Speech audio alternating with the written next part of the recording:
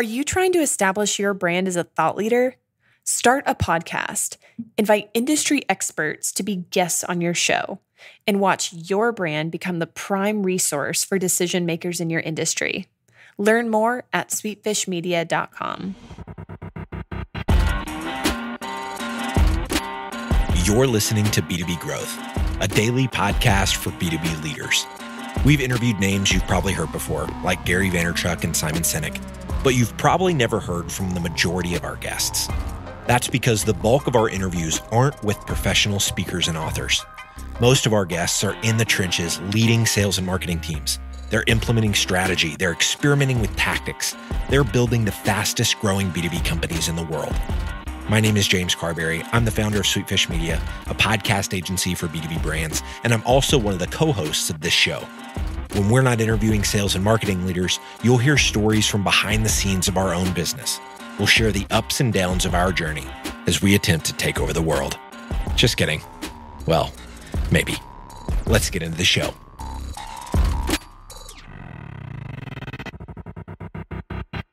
Back to B2B Growth. I am your host for today's episode, Nikki Ivy with Sweetfish Media. Guys, I've got with me today Rachel Weeks, who is head of US growth marketing at Reward Gateway. Rachel, how are you doing today?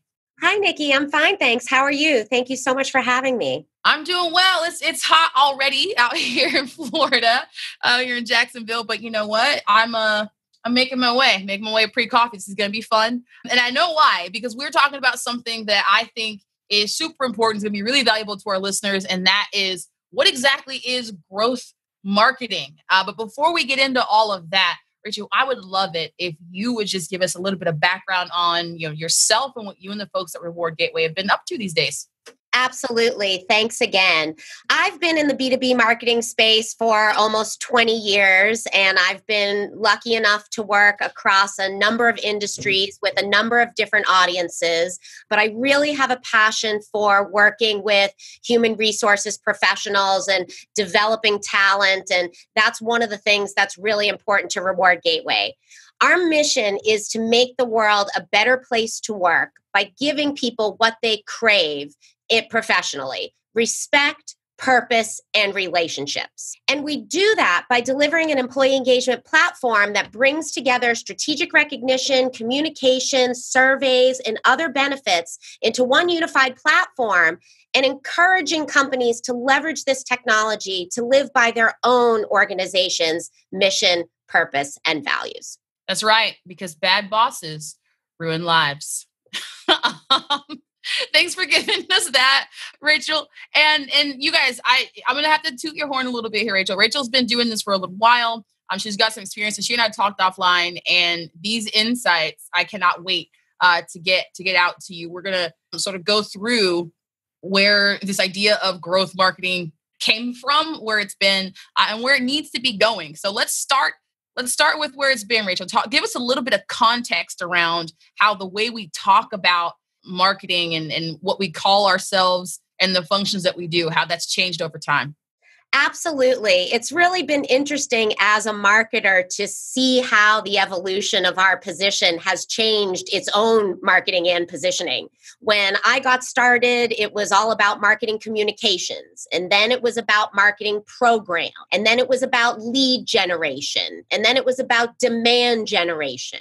Then we started incorporating the concepts of inbound marketing along with our database marketing. Now everybody's talking about account based marketing. We're also talking about smarketing and how important it is to be integrated with sales.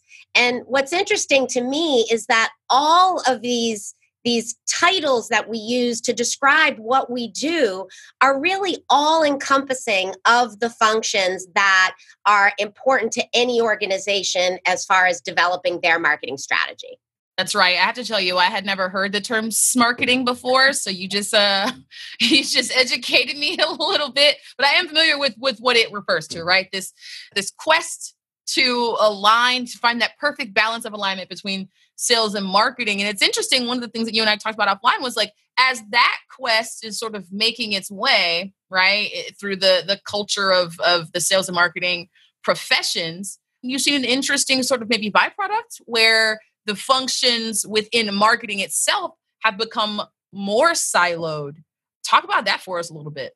Yeah, definitely. For a long time in my career, myself and people that I worked with really considered us to be marketing generalists. And we had experience across all the different functions within the marketing organization you know database marketing email and marketing automation content development digital web. Uh, we were focused on customer acquisition and focused on customer retention. And so everybody had to really think holistically about leveraging a variety of channels to accomplish the marketing objectives today over the course of the past few years what i've really seen is each of these functions become more siloed but in a good way. Silo sometimes implies you know insular or or lack of cross functional integration and that's not what i'm referring to in this case but really more specialized in that people are focusing specifically on content marketing specifically on digital specifically on database and email marketing. And that's giving them the ability to really hone their skills in that area of the discipline to directly impact the the goals and results of the overall marketing organization. Makes sense. Okay so this is a case where silos are are not a bad thing because they're uh-huh. meaning that you know more of these functions are being done or executed uh, more efficiently than they might if you know one person owned all of those functions. Got it. Yes i agree um, with that Thank you for helping me understand that. I come from a sales background and not a marketing one, so a lot of the marketing stuff is mystical to me. But I've I love it when I learn a little something here. And so, with that being the case, right, it puts us at this inflection point where what we're talking about, and we've seen it a little bit, right, where where folks are moving away from, you know, like you said, these these generalists or you know just siloed marketing and sales teams into these revenue growth teams, and that's where this idea of growth marketing becomes really important and it's important because of the functions that it, it intersects mm-hmm. so talk a little bit about those Absolutely. That's a really great setup, Nikki. When I first started talking to Reward Gateway about this position, I had a very clear vision myself of what growth marketing meant and how that had to be the primary objective of growth marketing, had to be the intersection of generating awareness, furthering engagement with your audience, and then developing demand to accelerate the sales cycle. And so I knew that when I came on board and was going to be working with the cross functional teams on this strategy, we were all going to be considering how each of the various uh, functions within marketing was supporting these three primary objectives. So I didn't approach the role from the perspective of, well, you know, what are we doing for an event strategy? And what are we doing for a blog or a white paper strategy? It was what are we doing from an awareness strategy? And what are the tactics and channels that we're going to leverage to support that? What's our audience engagement strategy? What are the channels and the tactics that we're going to use to accelerate that? And then, same with the demand side. And then, what's always been you know the foundation of a really smart marketing organization is one that thinks about their primary objectives plans against them delivers against that plan measures the results of what they've delivered and then repeats. And obviously, you repeat having learned from what you just delivered and measured, but it's that constant iteration and evolution of the activities that are specifically designed to support those objectives of awareness, engagement, and demand. Today's growth story revolves around search engine marketing. Delphix, a big data platform, had hired an agency to manage their Google ads a few years ago but they weren't seeing the results they wanted to see. Being such a technical B2B solution, they set out to find a team that could take on their challenge. After countless proposals, they found the perfect fit Directive Consulting, the B2B search marketing agency. In just one week after launching Directive's campaigns, Delphix saw their lead volume double and their cost per lead drop by 60%. I have a hunch that Directive can get these kind of results for you too. So head over to directiveconsulting.com and request a totally free custom proposal. That's directiveconsulting.com. All right, let's get back to this interview. Rachel, that's brilliant.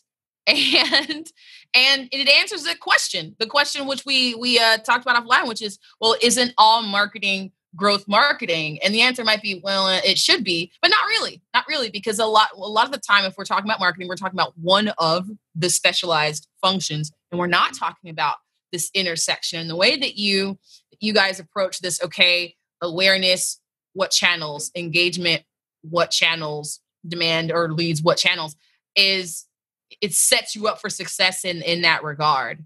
So thank you so much for for laying all of that out. Now before we move on to the next little uh, segment where i've got a, a fun little question for you any sort of parting wisdom for folks out there who are looking to make the transition from sort of the way that we normally think about marketing into a growth marketing uh, approach that's a really good question, Nikki. I think it's all about working towards your organization's goals and objectives. And one of the things that's really important to us at Reward Gateway, as I mentioned at the top, is that we're all focused on our mission. Let's make the world a better place to work. So everything that we do across every department is in direct support of that mission. Now, not all companies have the same mission that we have, but every company should and hopefully does have a mission. Every employee who works there should understand what their mission is. And so when they're talking about what types of activities they're executing to support their marketing strategy or their services strategy or their manufacturing strategy, it should all be in service to what that company's mission is. For sure. Yes. I mean, I, I couldn't have said it better myself. And that's why you're the guest so now, Rachel, that I have successfully picked your brain and seen what I could get out of it, here is the part where you tell us about what you are putting in it. So tell us, Rachel, tell us about a learning resource that you've been engaging with that has, you know, informed your approach or that's just got you excited these days. Yeah, that was a really difficult question when you asked me uh, to think about it at the top. I feel like we are bombarded with so much media, and you know, I spend a lot of time on LinkedIn. That's probably the primary platform where I get the majority of my uh, professional content.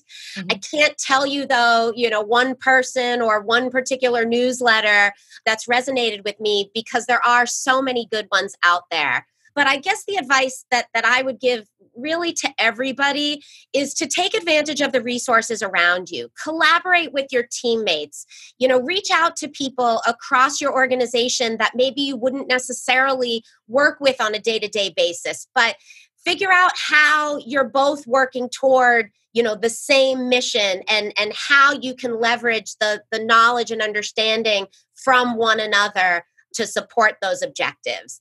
Do networking outside of your company as well. You know, we're all really busy, but it's important to just get out, meet new people, whether it's virtually or at a live event, and, you know, just talk. Like, that's where I really get the most of my ideas and, and the most energy. I love it. I agree. People are absolutely a learning resource uh, if you let them, if you let them be. And, and, so, yeah, we're on the same page. I also spend a great deal of time on LinkedIn, um, and I think I think what you mentioned there is important, right? Where it's not just like I'm a follower of this this one particular thought leader or this one particular you know framework or or school of thought. I think once you do that, you put all your eggs in that basket, and then if it fails, you can become super hopeless about the whole this whole thing. So so having this sort of like approach that invites different viewpoints and different approaches and just sort of sees what you can take and use from each of those is is smart. And it's actually part of the spirit of of this show and and this organization. So thank you again. You've been super valuable. And i know that everybody listening out there like me has become a fast fan of yours rachel. So tell us tell us how folks can connect with you Thanks, Nikki. The best way to connect with me definitely is on LinkedIn. You can search for Rachel, R A C H E L, Weeks, W E E K S, at Reward Gateway. And I, you know, love to engage with anybody who's excited to talk about B2B growth marketing. Yay! All right, we'll have to have you on again soon. You, you're so knowledgeable on a myriad of functions within marketing and stuff that our audience uh, really finds value from. So I'm glad that we had you here today. I look forward to talking to you again. Thanks so much, Rachel. Thank you. We totally get it. We publish a ton of content on this podcast, and it can be a lot to keep up with.